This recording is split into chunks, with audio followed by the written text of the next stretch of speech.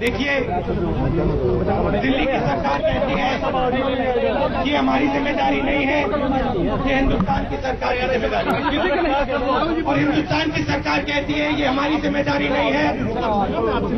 ये दिल्ली सरकार की ज़िम्मेदारी जब आप दिल्ली सरकार के पास जाते हो, दिल्ली सरकार कहती है, काम ले हिंदुस्तान की सरकार से जब आप हिंदुस्तान की सरकार के पास जाते हो तो वो कहते हैं, काम लीजिए, दिल्ली की सरकार।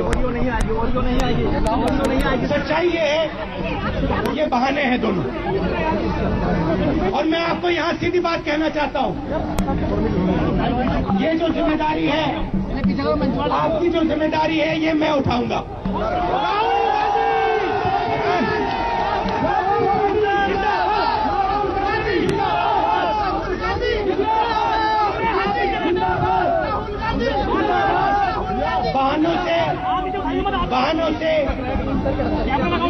आपका कुछ नहीं होने वाला है।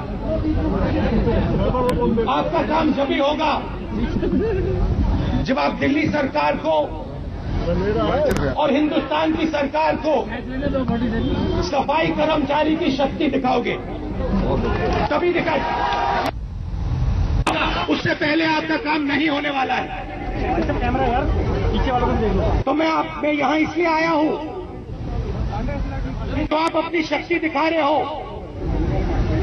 उसमें मैं बैठकर अपनी भी थोड़ी सी शक्ति जोड़ने की कोशिश कर रहा हूँ। और मैं और मैं दिल्ली के बाकी सर सफ़ाई कर्मचारियों से भी कहना चाहता हूँ, आप सरकार से मांगोगे, चाहे वो दिल्ली सरकार हो, चाहे वो हिंदुस्तान की सरकार हो आपको कुछ नहीं मिलने वाला है। आप अपनी शक्ति दिखाओगे तो पाँच मिनट में आपका काम हो जाएगा।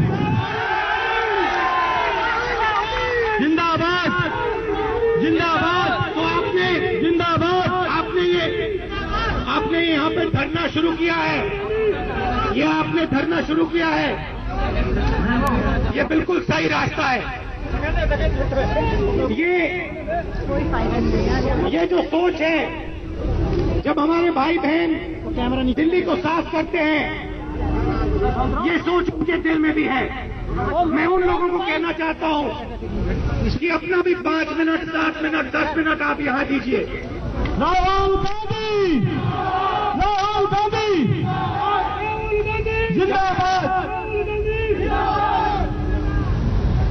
तो मैं आपसे सिर्फ़ ये कहना चाहता हूँ कि मिलकर अगर हमने सफ़ाई कर्मचारियों की शक्ति इन लोगों को दिखा दी।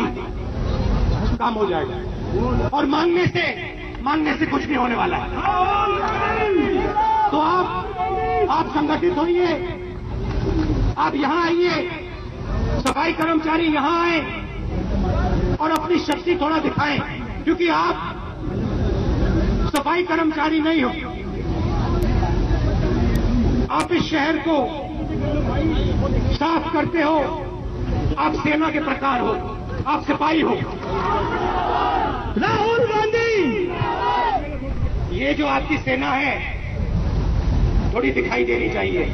यहाँ पे दिखाई देनी चाहिए। आपकी शक्ति दिखाई देनी चाहिए। आप जोरों से बोलो। शक्ति से बोलो। एक साथ बोलो, फिर देखो क्या होता है। और जो मैंने पहले कहा, मुझे यहाँ चाहते हो, बुला लो। जब भी आप चाहते हो, मैं यहाँ आ जाऊँगा। अगर आप दो, तीन, चार, पाँच, दस, पंद्रह दिन बैठाना चाहते हो, मुझे कह दो बैठ जाऊँगा